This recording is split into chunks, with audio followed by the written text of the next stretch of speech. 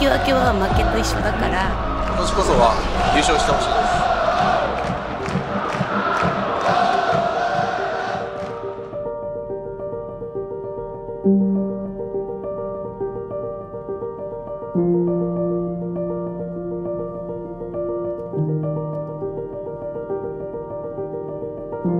本物の赤は鹿島です、まあ、どんな時でも鹿島らしくいくのがアントラーズのために仕事してます。10年ぶりの年間チャンピオンがかかってますから。2-0 2-0で浦和が勝ちます。勝って初めて秩序が保たれるというか。茨城県立鹿島サッカースタジアムです。これから2016年の J リーグリーグ戦のチャンピオンをかけた戦い2試合が始まります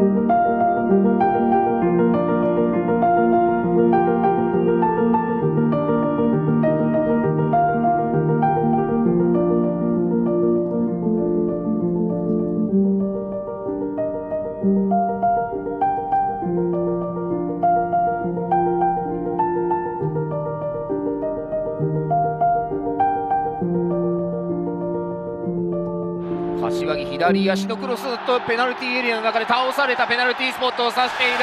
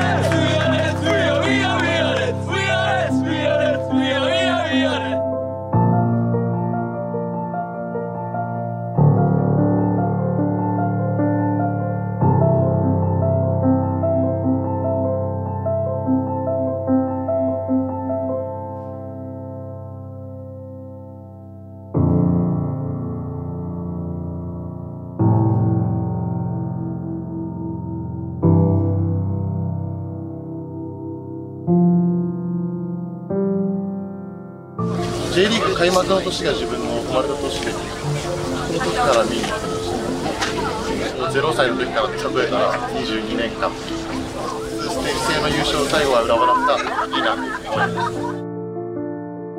ホームで、まあ、負けたっていうのはすごい、まあ、痛かったんですけども、まあ、ただ第2戦まだ自分たちもチャンスあるんで、えーここで挽回してしっかりタイトル取れるように応援したいと思います誰選手がじゃないですやっぱり全員で勝ち取る。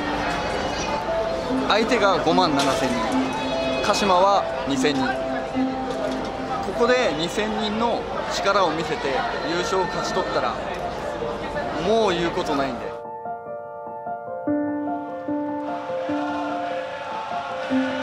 埼玉スタジアム2002です。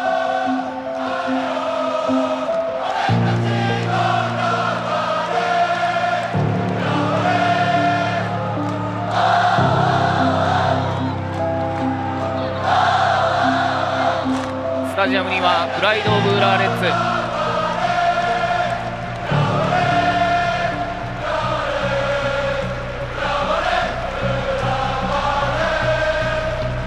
明治安田生命 J リーグチャンピオンシップ決勝第2戦浦和レッズ対鹿島アントラー